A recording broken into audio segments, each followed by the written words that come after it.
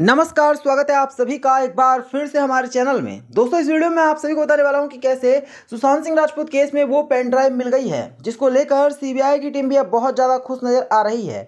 और कहा जा रहा है कि इसी पेन ड्राइव में सुशांत सिंह राजपूत केस से रिलेटेड कई सारे बड़े सबूत छुपा कर रखे गए हैं। इसलिए आप सभी हमारी इस वीडियो को अंत तक देखिएगा।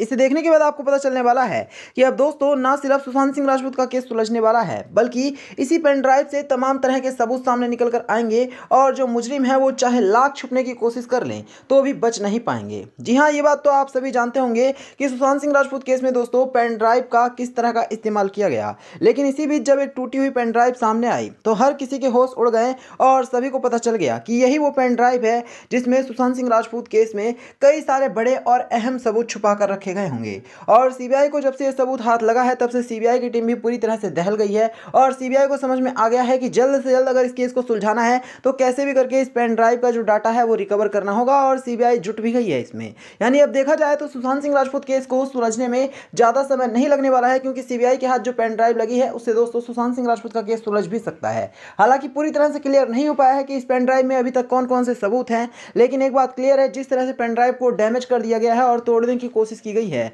ऐसे में मुजरिमों को ज़रूर पता होगा कि इस पेनड्राइव में ज़रूर कोई ना कोई बड़ा सबूत है, जो कि सुशांत सिंह राजपूत ने शायद छुपा कर रखा था। अब दोस्तों, आने वाले दिनों में सुशांत सिंह राजपूत का केस बहुत जल्द सुलझेगा, इंसाफ होगा और पता चल जाएगा कि कातिलों ने आखिरकार किस वजह से इस पेन ड्राइव को तोड़ा और सुशांत सिंह राजपूत ने कौन कौन से सबूत छुपाए थे। सारी जाँच होगी फॉरेंसिक लैब में और उसके बाद सच्चाई सामने आ जाएगी। तो यही था वीडियो में। वीडियो को लाइक करना, इसे और लोगों के साथ शेयर करना और चैनल को सब्सक्राइब करना। धन्यवाद।